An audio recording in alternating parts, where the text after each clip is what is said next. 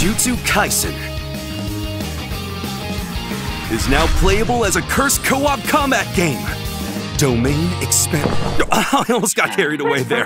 Guess it's a little early to be busting out my domain expansion. Hiya there. I'm Satoru Gojo, first year teacher at Jujutsu High. I'm here to give a lecture on the long-awaited Jujutsu Kaisen Cursed Clash. Available February 2nd, 2024. So, what's Jujutsu Kaisen Cursed Clash, you ask? Well, to put it simply, we're talking tag team battles. That means the name of the game will be Teamwork as you aim to dominate curse technique battles.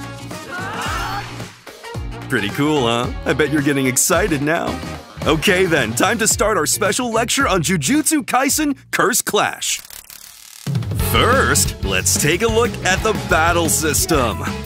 Curse Technique Battle means fighting with the unique curse technique your characters have to offer. Form a tag team with characters whose abilities complement each other to gain a strategic edge in combat. Better to join the fray with a pal than go it alone, wouldn't you say? Cursed energy is a key factor in any brawl. Raise your cursed energy level, and you'll be able to use powerful techniques and unique capabilities. This is sure to give you the leg up you need. Once it reaches the late stages, you'll see clashes between ultimate moves chock full of cursed energy. Just imagine the exciting battles that'll unfold.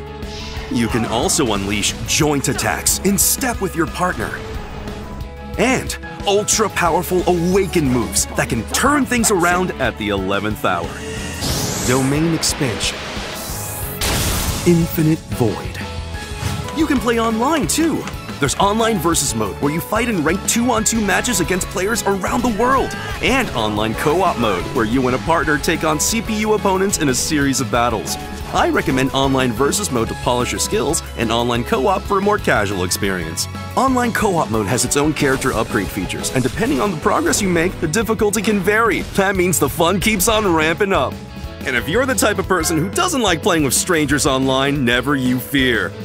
There are online lobbies where you can play with just your friends. From character costumes to player cards. You also have plenty of different options for sending messages. Boy, everybody's looking so swank!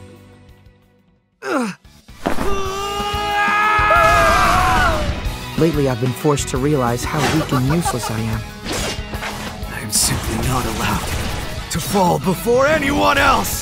And if it's just pain, Yuji Itadori will never stop!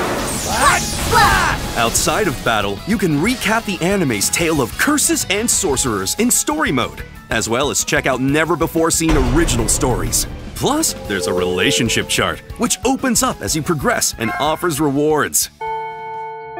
Ah, time's up! There's so much more I want to say, but oh well.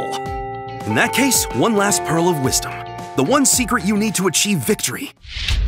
Imagine a stronger, future version of yourself. That's the long and short of it. All that's left is to check it out for yourself. Bye bye now. Jujutsu Kaisen Cursed Clash, available February 2nd, 2024.